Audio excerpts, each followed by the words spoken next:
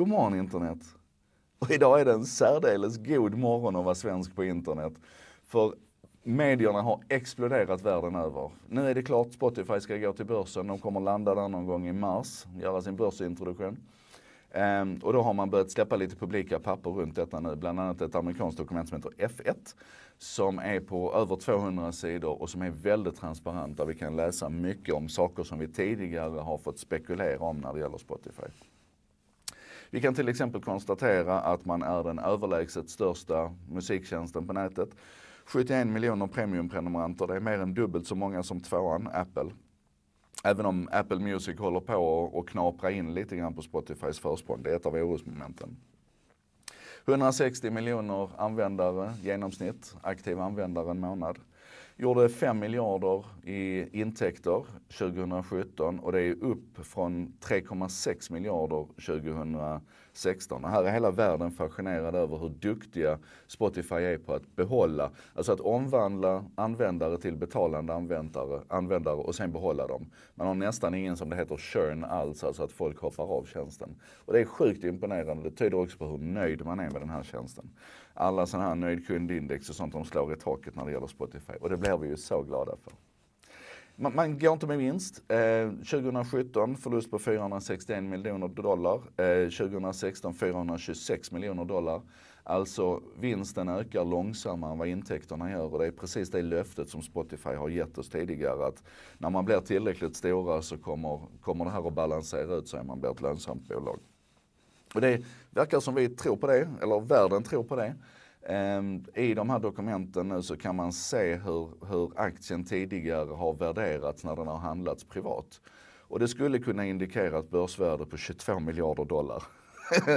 22 miljarder dollar, det är fan bra jobbat av, av Daniel Ek och Martin Lorentzon. Heja er. Um, men man säger också att man vet inte exakt hur det här kommer att gå. För att Spotify gör en jätteovanlig grej med sin IPO, sin, sitt initial public offering, alltså sitt när man nu går till börsen. För normalt sett när man börjar sälja en aktie på börsen så har den handlats redan innan i stor omfattning från företaget direkt. Man brukar göra en roadshow där man åker ut till traditionella tunga investerare, industriella investerare, storbanker och så lockar man dem att, att köpa aktier som bolaget säljer direkt till dem. Och det här ser ju till att ett, så får bolaget själv in pengar och två, att när man väl lanserar det på marknaden sen så finns det ett antal tunga krafter som hjälper till att stabilisera aktien. Spotify går direkt till börsen.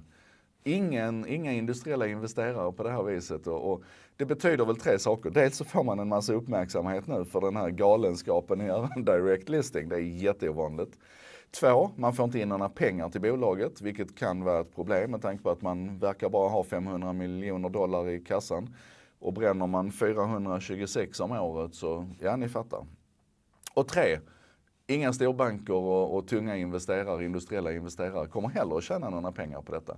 Det här betyder förmodligen att när aktien släpps så kommer den att vara väldigt volatil som man säger. Alltså den kommer att åka upp och ner lite grann och, och det kommer att ta tid innan den här aktien stabiliserar sig. Så att jag kanske inte vill påstå att det finns någon, någon jätteköpvarning på det här precis. Men det är sjukt spännande i alla fall. Köpvarning, säger man det? Nej, det säger man inte. Anyway. Um, jag skulle bara vilja sätta Spotify väldigt snabbt i en, i en slags historisk kontext också. Varför finns Spotify? Och då backar vi tillbaka bandet till ABBA-tiden. När ABBA producerade och sålde skivor över hela världen. Och, och runt om så växte det upp en hel, en hel musikindustri i Sverige med Chevron och Dennis Pop. Är ni den storyn? Det brukar man kalla för det, det första svenska musikundret. Eller jag brukar kalla det för det i alla fall. Sen kom det andra svenska musikundret. Det var The Pirate Bay och, och upphovsrättspiraterna. Ni vet, vi kunde dela, dela Abbas och, och alla andras musik fritt och tanka hem och sådär. Och det tyckte ju naturligtvis inte det första svenska musikundret om. Så man sa, kasta dem i fängelse, slänga ut dem från nätet och inget av det där lyckades egentligen. Ja. Så det andra svenska musikundret handlade om teknik. Om vi då kan musik och vi kan teknik och vi bestämmer oss för att gå framåt istället för bakåt. Vad blir då det naturliga resultatet? Jo, Spotify. Spotify är det tredje svenska musikundret och det bygger på den historia vi har i Sverige av att kunna musik och kunna teknik. Och det är precis så här jag tycker vi ska titta på alla andra marknader också. Vi ska plocka upp våra styrkor och så ska vi addera teknik och så ska vi hitta massor med Spotify. Eller hur? I alla fall, stort grattis! Nej, jag ska inte säga grattis. Jag ska säga bra jobbat Daniel Ek, Martin Lorentzon, alla mina vänner på Spotify. Det här har ni gjort otroligt bra. Jag är så stolt och glad idag över de här siffrorna som presenteras, över uppmärksamheten ni får. Det här var En sak idag, producerat av mig, Joakim Jardenberg. Eh, med benäget bistånd ifrån mina partners Bredband2 och Contentor. Bredband2 är internetoperatören som som eh, gärna lyssnar när andra snackar och som hjälper till att sprida det här goda ordet för att de tror på internets stora välgörande kraft, precis som du och jag. Och sen så är det Contentor som hjälper till att texta och översätta det här. De jobbar med redaktionellt innehåll för, anpassat för internet, modern marknadsföring och översättning. Och fram emot lunch så ser de till att det finns både svensk och engelsk textremsa på en sak idag. Visst är det bra? Och vi ses som vanligt imorgon igen.